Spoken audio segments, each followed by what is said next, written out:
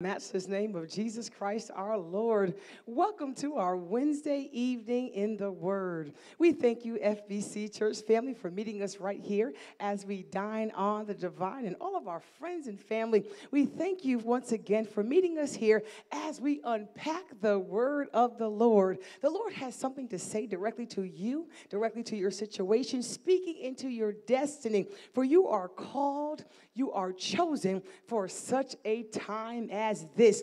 Please tag and share tonight's lesson as we again have our conclusion of the matter. Yes, this will be our last point of our series in Trial to Triumph, in it to win it. This is part four of a four part series. We are in it to win it. I pray that you have been encouraged, enriched, looking forward to what the Lord is doing in your lives, that God is reminding us that He is faithful, that He is able to do exactly what He said. He did not bring bring you this far to leave you. He did not. He's going to bring you all the way to your destiny. So let's get right to it. Father, in the name of Jesus, we are excited and we are elated for what you are doing for us in this season. We thank you, oh God, for your word. We bless you, oh God, for your word makes us empowered, and your word makes us impactful, and your word continues to move mountains in our lives. So, God, we thank you that your word is spiritually mature maturing us, that God, we are walking and doing great things in you because of your word. So tonight, God, as we have our Wednesday evening in the word, and you have given us this great topic of discussion during our discourse tonight, Holy Spirit, blow a fresh wind on us. Encourage us like never before. Show us your glory. Show us your will and your way through your word. Now, God, I ask you to use me for your glory. Holy Spirit, have your way, for you are our divine teacher. And God, you orchestrate our destiny. So, God, let the words of my mouth and the meditation of my heart be acceptable in thy sight, our Lord, our strength, and our Redeemer. Let the church of the living God say, Amen. Amen. Once again, this is our part four in our four part series, Trial to Triumph, in it to win it. The Lord has certainly been encouraging us I pray that you had moments of reflection, knowing that God's going to do just what He said. It does not matter what the circumstances are that surround you, God is still who He is. And He's going to move on your behalf, and He's going to manifest all of His promises just for you. So tonight we want to start with James chapter 1, verses 5 through 8. We want to unpack the word wisdom. We all need wisdom. We have a question though on the table as we sit in this tension that how do we receive wisdom from God? Well, the Bible says again in James chapter 1, 5 verses 5 through 8, if any of us lack wisdom, let him ask of God who gives to all liberally and without reproach, and it will be given to him. But let him ask in faith without doubting. For he who doubts is like a wave of the sea driven and tossed by the wind. For let not that man suppose he will receive anything from the Lord. Hmm. He is a double minded man, unstable in all his ways. Whew, that's something to unpack tonight. So, if we lack wisdom, it is clear that we lack wisdom, right? True wisdom comes from the Lord. We have knowledge, we have information, but wisdom comes from God. And trials bring a necessary season to seek wisdom from God. We often don't know when we need wisdom until the time is difficult. When we go through times of difficulty, then we understand that wisdom is something that's necessary. Once we're in the time of trial, we need to know if a particular trial is something God wants us to do, to walk in, to increase our faith, and to allow us to persevere in faith but this requires wisdom. So, in trial, we need wisdom. And as I said on the onset, wisdom is a lot more than knowledge. Knowledge, my brothers and sisters, is just raw information. If you read a sentence, that is knowledge, right? You have unpacked something that was written and given to you to read. Just raw information. But wisdom shows us how to use that information. Hmm. Knowledge is raw information, but wisdom shows us how to use it. So, someone once said, and I heard, that knowledge is the ability to take things apart, but wisdom is the ability to put things together. So, we cannot work the word without wisdom. I'm going to say that again that we cannot work the word without wisdom. So, because we need wisdom, he told us to let us ask of God. And we receive it just simply by asking him. God, I need wisdom.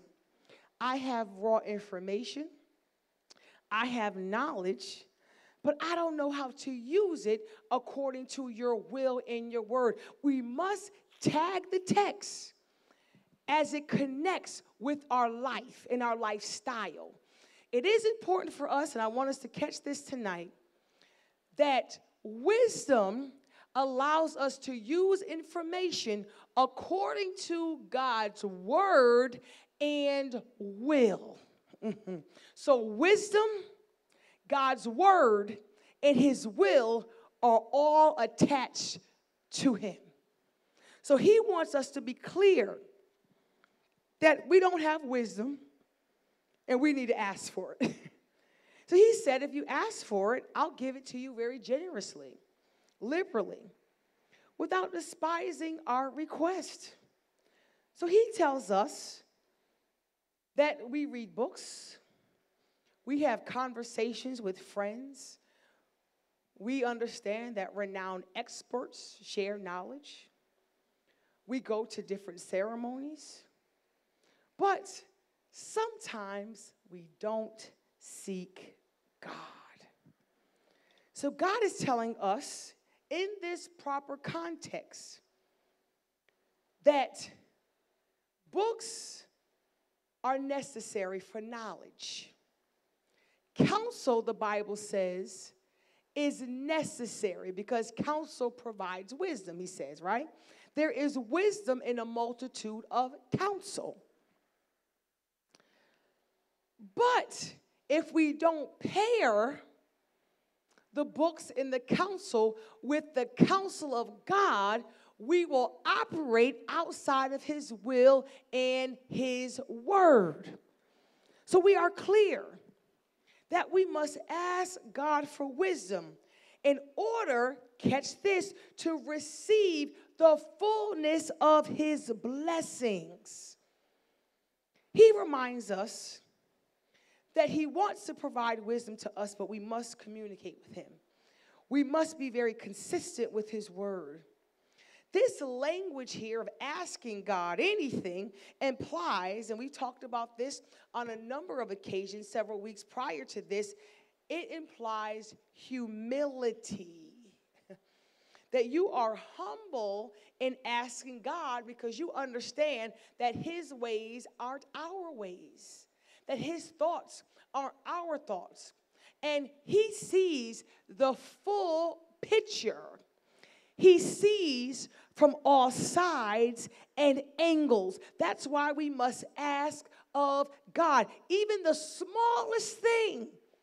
He says, Seek first the kingdom of heaven and his righteousness, and all the other things will be added unto you. So we want to ask God for wisdom. And he will always engage with us with an open hand and never with a clenched fist.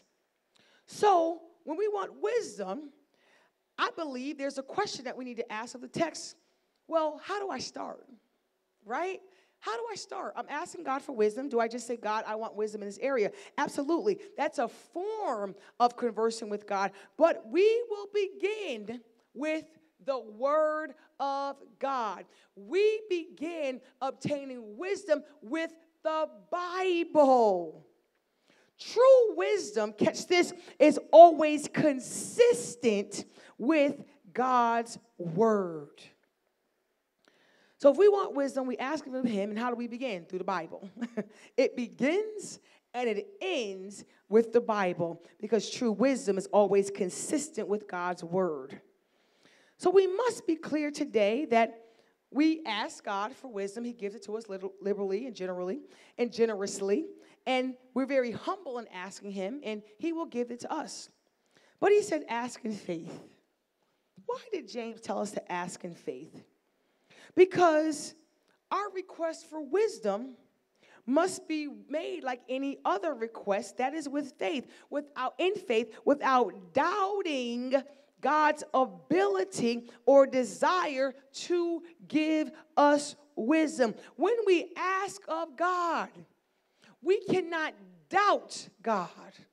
We must trust Him because He's our Father and He is faithful to perform His word. Don't you know that God wants you to succeed?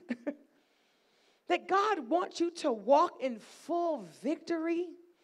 That God wants you to see the full manifestation of his promises. We have an entire host of cheerleaders, according to Hebrews, in the heavens, pushing us and cheering us on. We have our Savior, Jesus Christ, interceding for us that we won't give up the fight. So he wants us to win. So we cannot doubt when we ask, but we must ask in faith. So anyone who doubts or lacks faith should not expect to receive. Because remember, he said, without faith, it is impossible to please him. So in faith, we please God, and in faith, we receive, right? So if we go to a loved one, and the loved one has what we need, and we understand the loved one is just smitten over us and they love us and they want us to succeed and they want us to have everything that we need to be prosperous and, and to walk in the fullness of what God calls us to do. And we ask for something. By faith, we receive it. Why? Because by faith, we asked. And we understand that they will give us what we ask for. Why? Because they want us to win. We're in it to win it. So here we cannot doubt God because if we doubt God, it shows that we don't trust Him. And if we have a lack of, of, faith and trust in God, catch this, it also shows that we don't have a foundation and we'll be unstable in all of our ways. Have we ever found ourselves, as the Bible says, like a wave uh, of the sea, driven and tossed by the wind? That at times when we don't trust God, we, our mind is foggy, right? We make decisions out of our emotions because we're not sure. Well, God, this looks right. No, it's not about what you see, it's about what God said. That's why we have it begins and ends with the Bible because we have to know what God said in order to see what God is sending us to. Mm, that's good. So we have to remind ourselves that we're asking God by faith. We cannot be tossed by the wind. We cannot be persuaded by our situation. We cannot be in a continual state of agitation, driven by the wind, tossed back and forth. If we're going to trust God, we must trust God in everything that we do. We must trust God in every area of our lives. See, when a wave of the sea is tossed, it is a picture of someone who is hindered by unbelief and unnecessary doubts. When a wave is at sea, it is without rest because it's doubting. When we doubt God, we don't find rest. when we trust God, we rest. We find peace in the midst of the storm. We have a story, of course, the Bible reminds us when he was having a conversation, Jesus Christ with his disciples, and they were in a storm. And Jesus Christ, he was asleep because he already knew that the boat would make it to the other side. So he did what? He rested because he was at peace, knowing that he was going to make it to the other side. But the disciples had an issue. They said, Oh, what are we going to do, Master? We're not going to make it. He said, How long have I been with you? How long have we been in relationship? How long have you seen my works? And you don't trust me now? He spoke to the storm and said, Peace be still, and went back to sleep. You need to speak to your storms. and say, Peace be still. Why? Because my Savior will bring us over safely. So the Lord's reminding us at this moment that as we, the sons and daughters of God, we cannot be double minded in our ways because if we're double minded, we're unstable. If we believe God one day and then the next day we don't, and then two days later we believe, and then Sunday morning we believe, and then Saturday night we don't, right? Wednesday we believe, but then th- Thursday we don't. That's tossing. We're back and forth. We're back and forth. But God told us to be stable in our trust in our Savior. Because if we're double minded, we're not able to operate in destiny. Be secure in your Savior, be secure on what He said because God said what he meant and he meant what he said. That's why the book of the Bible is the truth because the Bible says in John chapter number 1 that the word is God. And the word became flesh and dwelt among us. So it's one and the same. Jesus and his word, it they coexist. And they will never fail us. So being double-minded again is operating from two different mindsets or two souls. That one, you're operating in your earthly or your worldly system, and then the other, you're operating in your spiritual or your heavenly system. There are two systems who are clashing.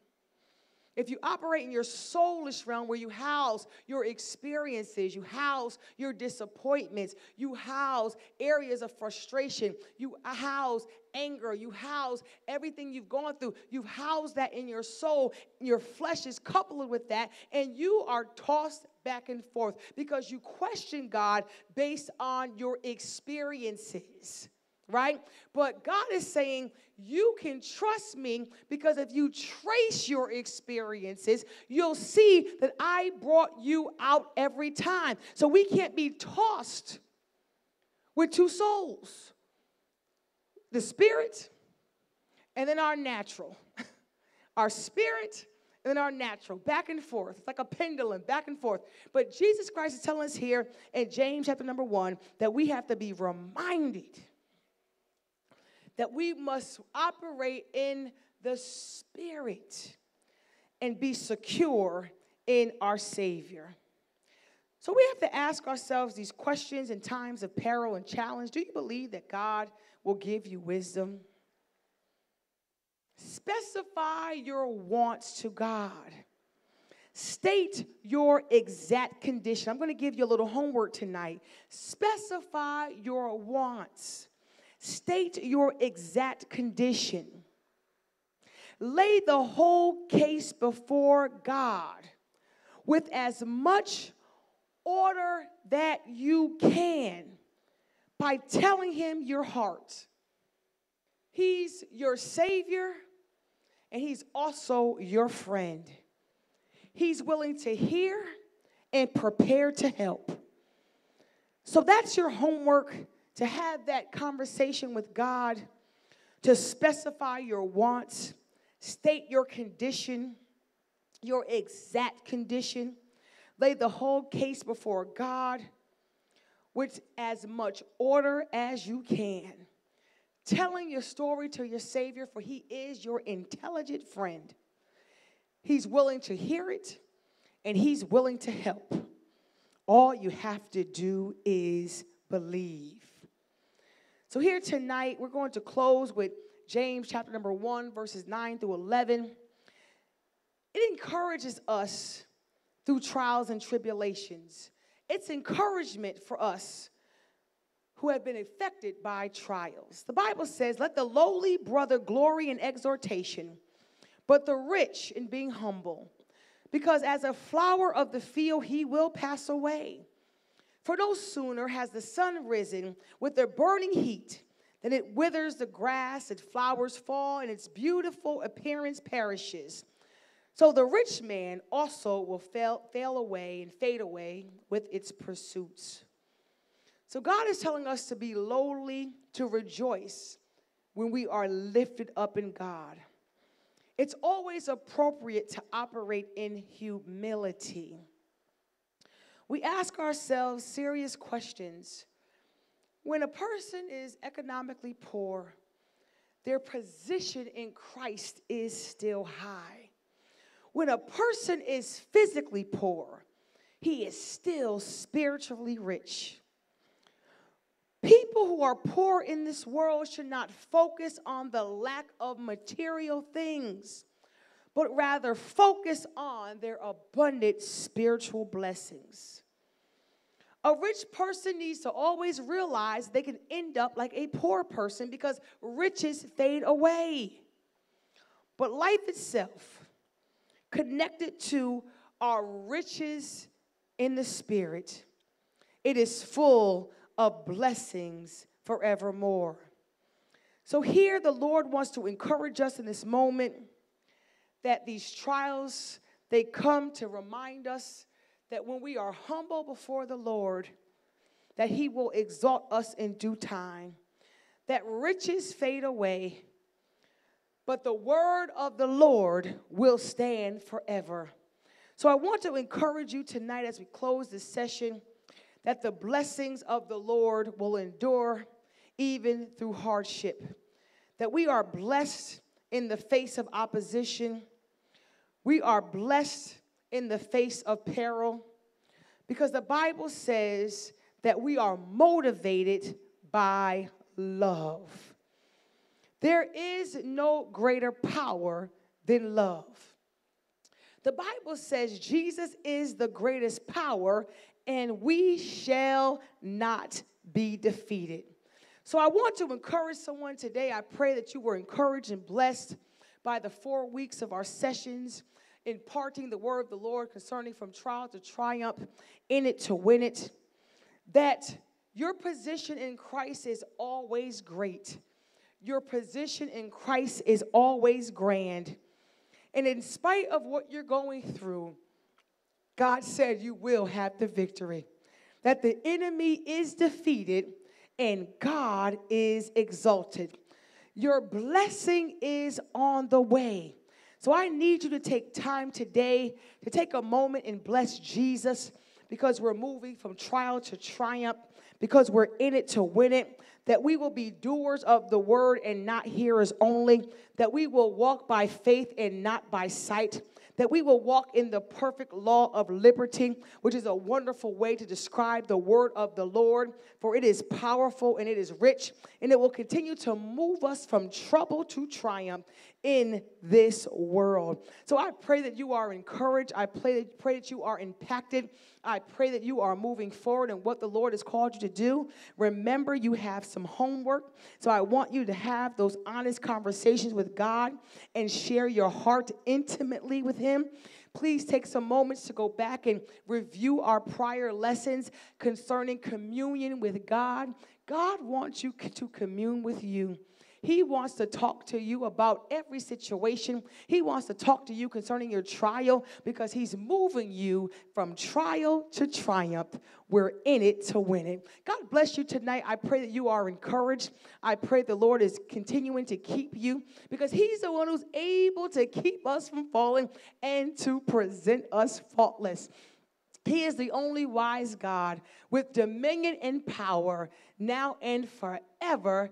Amen. God bless you. We thank you for meeting us tonight again for our Wednesday evening in the Word. I pray that you continue to move forward in what the Lord has called you to do. Walk out your victory, for victory belongs to you. We'll see you this time next week as we celebrate our Wednesday evening with the Word. And I would love to see you right here on Sunday morning, every Sunday morning at 11 a.m. to celebrate Jesus Christ with us here at Friendship Missionary Baptist. Baptist Church in the great town of Hamden, in the great state of Connecticut. Meet me right here at 11 a.m. and let's rejoice in God together. God bless you, and I'll see you next week.